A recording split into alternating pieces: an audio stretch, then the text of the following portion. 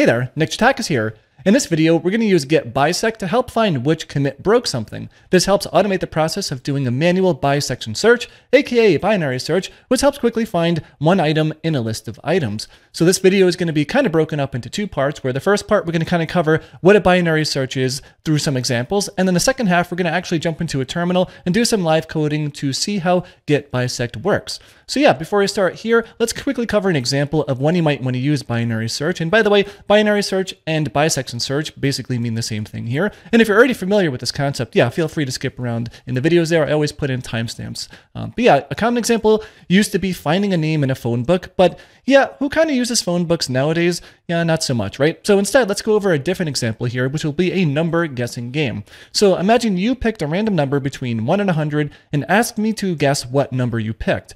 You know, it would be pretty tedious, right, if I just guessed 1, 2, 3, 4, 5, 6, 7, etc., all the way up until 100. Now, you know, if you picked 1 as your uh, random number there, then that's pretty efficient, but what if you picked 87? You know, I'm going to have to guess 87 times to find that, and that's not good. But if you had 1,000 numbers, right, uh, clearly that is not a very efficient algorithm to pick something like that. Now, with bisection searching over 100 items, uh, on average, it's going to take about six picks to guess the number there. And you can actually do log 2 of 100 there. You get 6.64, which you can round down down to 6 here. And actually, this site here lets you do some calculations. For example, you know, we can pop in something like 50,000, and we can see that uh, it takes on average about 15 guesses there to do that. And if even if we put in something like a million, uh, that is going to be around 19 guesses to do that. And that's basically what this says here. But that really shows, you know, how powerful this method is to find something. That's why that phone book example used to be really popular, right? In a big city there, you could have technically a million names in a book. And if you're trying to find someone in the list there and you use bisection search, yeah, it takes on average about 19 guesses. Now, Average is an average there. It's not guaranteed. You could get it sooner, a little bit later there, but on average, that's about it. And you can see, yeah, that's quite nice here. You know, 100 items, six guesses, a million items, 19. It's very approachable here. But uh, yeah, the TLDR on how it works basically is you can half your sample size on each guess if you guess the middle point. For example, if I asked you to pick a number between 1 and 5 and you pick 3, and I said it's higher, then we know for certain that it's going to be 4 or 5, right? You don't even need to think about picking 1 or 2, and we already know it's not 3 there because that wasn't the guess there. So we've already halved our results there. Now, imagine if you had a, a million items to search through, right? If you took the middle point on each guess, it only takes uh, 7 moves here to reduce 1 million items down to about 7,800, right? We have 500k, 250, 125, blah, blah, blah, blah, blah. You know, 7 moves later, you're down to about 7,800 here. So that helps, uh, hopefully that gives you the gist on how it works works here. But yeah, here's a, a practical example step by step on how it works for a number guessing game here. So you know, the rules in, in this game would be like, let's say that you're thinking of a number between 1 and 100. And again, I need to guess uh, that using bisection search. And if I were to guess too high, then just let me know it's too high. Likewise, if I guess too low, then let me know it's too low. Now, obviously, we're not chatting in real time here, so I'm going to go over the results of a game that already took place. And, you know, humor me here for a second here, and just imagine this took place in an alternate dimension. You and I were doing this guessing game together. So, step one, by the way, spoiler alert, uh, you're thinking of number 63 here. So I'm going to make a guess here, like, is your number 29? Like, no, you're going to tell me it's higher, right? Because it's 63. And this is where bisection search comes into play. We know the number is not 29 because, you know, that wasn't the guess there, you know, it wasn't the correct guess there. And it's not going to be 28, 27, 26, or anything lower than that because you told me it's higher. Great. So that means uh, numbers 1 through 29 can be completely thrown out. We don't have to think about them ever again. We've basically eliminated just about a third of our choices in one step, right? The, the actual number that you're guessing of must be between 30 and 100. Now, if I wanted to be the most efficient here, you know, I would choose 50, which is the middle point between 1 and 100, right? And basically keep repeating the middle point, middle point, middle point. But yeah, for the sake of this example here, um, you know, I'm just like semi-randomly guessing here just to see, show how it works here, even when you can't for, or even when you can't perfectly account for something to be calculated exactly in the middle. Okay, is your number 99? Uh, yeah, okay, cool. We already potentially know our lowest pick here is 30, and we've just eliminated 99 and 100 here because you mentioned here that it's lower. So our new range now is 30, which we knew before, and uh, it's up to 98. Uh, that didn't really help us a whole lot here since we only removed 99 and 100, two choices there. It's better than nothing. Of course, this was uh, a wildly inefficient guess here if we, you know, we're doing an optimized bisection search. But yeah, let's go to uh, step three here. And uh, is your number 58? No, it's higher, right? And if we go back to here, uh, just as a reminder, you picked 63 here. Um, but like step one, you know, we can take a decent chunk out here. You know, our new range is going to be 59 to 98 here, right? Because uh, it is a number that's higher than 58. So we know it's not 58. You know, it could be 59 all the way up to 98, which is, you know, we calculated that before. All right, and now we basically just keep repeating very similar steps here, right? Is your number 71?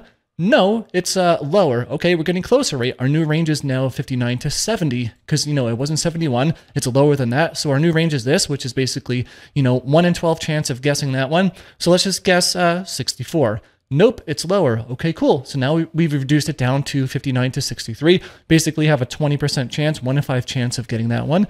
And uh, yeah, on the sixth step here, you know, I just took a guess at 63. And yes, that's uh, the answer there. And I realized I need to use uh, colons here, not commas, whatever, I'll fix that in the blog post. But yeah, looks like I got lucky there, right? Hit my 20% shot here and I guessed it. But if I didn't, then we would just basically continue onwards doing the same exact thing until we found uh, the number that you were guessing. And uh, yeah, hopefully this demonstrates how it works at a super basic level. So now you might be wondering, how does this apply to git commits, right? We've seen how it works with sorted numbers and hinted how it could work to find sorted names in a phone book. But yeah, how does this apply to git commits? So, you know, let's say that you have a project that you're working on and the head or the latest commit here has an area of your your site that's not working anymore. You know, all you know is about a week ago, this area of your site was working. So in between a week ago and now, you've made 30 commits or 100 commits, you know, whatever, however busy that project is here, but you have no idea which one of those commits caused the problem. And this is a great spot to use bisection search, right? We can jump to the 15th commit and see if that works. And uh, if it does work, I realized uh, that shouldn't say doesn't, but whatever. You know, if it does work, then we know the 16th to 30th commit uh, has a problem. We don't know which one it is, but we've just halved our commits to look through, right? We don't need to bother looking at, you know, commit 1, 2, 3, 4, 5, all the way up to 15, um, because we know 15 works, so it must be somewhere in that range. And uh, this actually came up for me quite recently here, and I did some debugging and troubleshooting using Git bisect to help identify what the problem was. So yeah, this recently came up for some client work where someone asked me to help them troubleshoot why the Rails app was no longer allowing them to sign in, but the app was not throwing any errors or warnings in the logs when they were trying to sign in. You know, it was a pretty big app. I've never seen it or worked with it before. Uh, I just started asking though, when was the last known good state?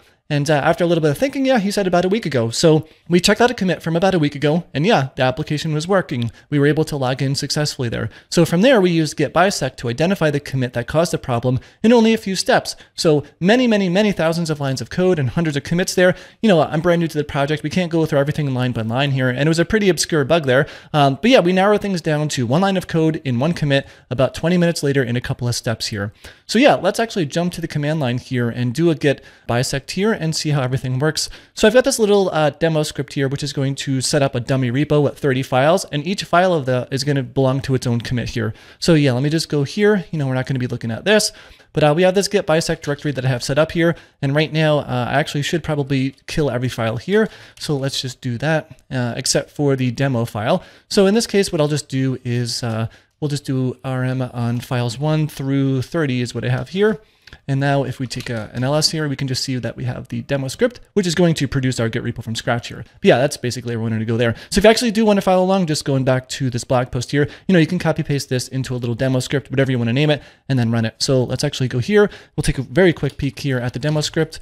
Um, and then I will run it in the terminal below here. But yeah, in this case, you know, we're just doing a git init, make, make a new git repo, and then we're to make a sequence here, basically doing a range from 1 to 30. What are we to do? We are going to create a new file. We're to add that file to git and then commit it with a message like that. Cool. Okay, so let's do that. Uh, now it's to just run through here and add these files here. You know, it's to take a couple of seconds, whatever. You can see it's already on 20. Uh, we'll just wait until it hits 30. Nice. Okay, cool. And uh, yeah, if we do a git log here, we can see that we have uh, these commits here as well. And uh, yeah, I could probably get rid of the script here. It's not super important to go over anymore uh, because now we just want to take a look here and run some um, bisect commands here. But not, in fact, actually, there is a, a nice little way we, we, can do this one. So what is this? Like pretty, I think it's like one line was from the blog post, whatever it was. But yeah, this gives us a whole list of all the different commits here, starting from the bottom all the way up to the top. And of course, you know, when you run this, then these SHAs are going to be different. So you'll need to adjust those commands if you're following along on your end here. Yeah, the idea here is let's say that, uh, you know, at the very top here, add, you know, basically commit number 30, let's just call it that. This is where things are broken. And you know for sure, all the way at the bottom here, this first commit, things are working. So somewhere in between here, we have the commit that's actually breaking things, and we don't know what that is. So here is where we can use git bisect to help us get the answer of that. So we can just do a git bisect and then we can start. We need to basically tell uh, the git client that we are going to start doing the a bisection search. But now it's going to ask us to basically supply uh, a couple of different things here. Like we need to give it the bad commit. What is the bad one? And then what is a good one? So what we could do here is uh, actually, let me split this again, just so I can do uh, another git log pretty just so we can take a look at some commit SHAs because we're gonna have to paste them in here. Um, but yeah, we can say this is the bad commit here. Technically, you know, we could also just use head here instead, or we can technically not even add the argument here because it's already the master or main branch here checked out. But in this case, you know, let's just pop it in. We'll say that's the bad commit and we'll do a git bisect and we'll say, what's the good commit? Well, we know the good commit here is near the bottom. Uh, so I'm just going to grab this SHA here. Nice. And then we can do that. Whoop, I think uh, Tmux Yank didn't uh, populate my clipboard there. But yeah, in any case here, uh, let's also shrink this one. Maybe I'll keep it around just for later. But yeah, let's focus on the top for now. But now that git bisect understands that we have a bad commit and a good commit, then it is going to start doing that bisection search for us. Now, remember, we had about 30 different commits here, right?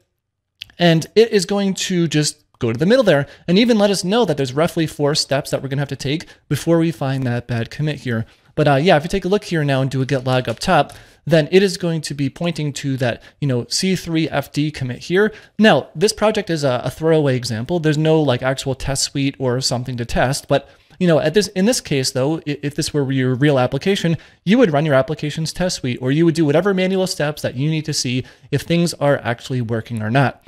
And uh, you know, let's just say in this case that uh, yeah, you know what, things are working. So what we could do now is just run git bisect and we can just do good. And in this case, we're not going to put in any argument. This is not a complete gray text here. You know, I'm not actually adding that in here. And we can say, yeah, you know what, git bisect. This commit is looking pretty good. Uh, our tests are passing, let's say. Nice. Okay, cool. So now it's going to go ahead and do uh, another bisection search here, cutting things in half, right? We know that it's somewhere in between commit 16 and 30, right? If we go back down to uh, well, again, I can't run it again to show all 30 because uh, you know, we're checked out to a different thing here. But yeah, it, it's basically there. And now it's just cutting that in half and it's going to 22 because that's in between um, 16 and 30 in that case. Now you can tell Git again, like, I don't know, I don't know, you run your test suite, did things work?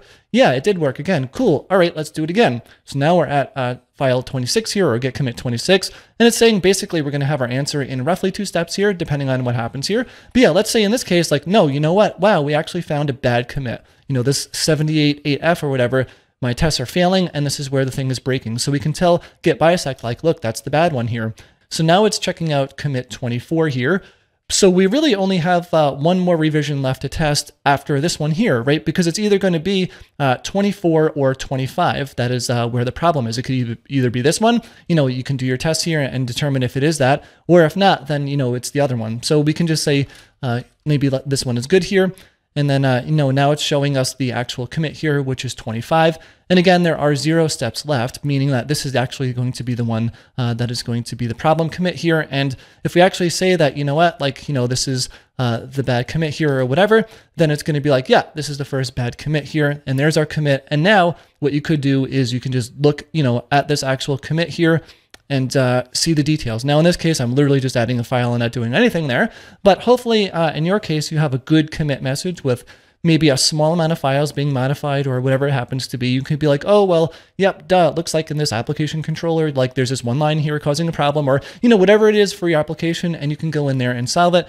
And then, uh, yeah, you can just, you know, fix that and then you're good to go here. Um, if you don't have any good commit messages in your project, well, then maybe you should start using some uh, Git Interactive Rebase. I've done videos about that one in the past if you want to check it out. But yeah, this is a very quick primer on identifying where a bad commit is so that you can just see the last working state of your application, know what went wrong, so then you can actually go up to uh, your latest commit here. You know, you can just check out you know, the master branch or whatever it is, apply whatever uh, changes you need to make there in it, and then you are good to go here. Hopefully that helps. But yeah, if you have any questions about this, let me know in the comments below. I'll do my best to answer them. And uh, if you like the video, please give it a thumbs up because it really does help a lot. Thanks a lot for watching, and I'll see you in the next video.